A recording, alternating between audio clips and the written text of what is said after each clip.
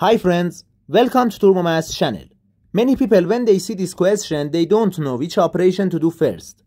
So, they often make a mistake. 112 minus 112 times 5, then over open parentheses 8 minus 6 close parentheses, then all of them to the power of 2.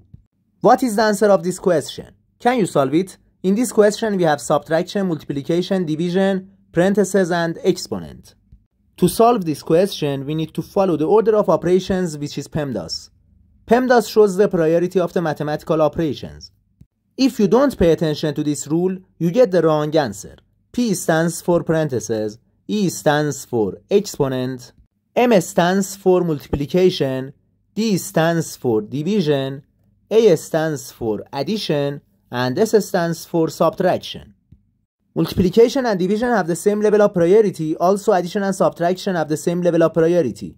When we have both in an expression, we start from the left and simplify the question.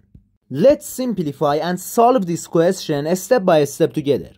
We have 112 minus 112 then times 5 then divided by open parentheses 8 minus 6 close parentheses then all of them to the power of 2.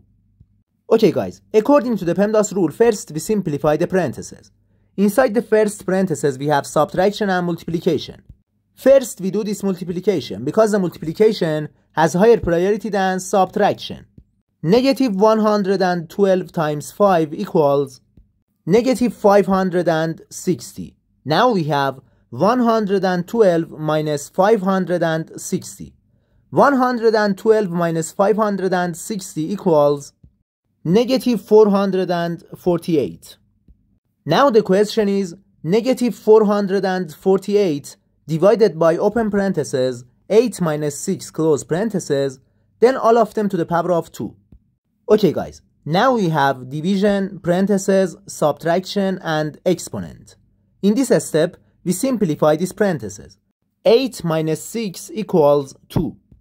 Negative 448 divided by 2 to the power of 2. Now we have division and exponent. First, we simplify this exponent, because exponent has higher priority than division. 2 to the power of 2 equals 4. Now we have negative 448 divided by 4. Negative 448 divided by 4 equals negative 112.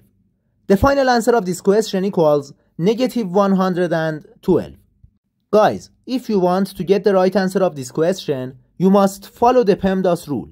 And if you don't pay attention to this rule, you get the wrong answer. To see more math videos, subscribe to the channel. Goodbye.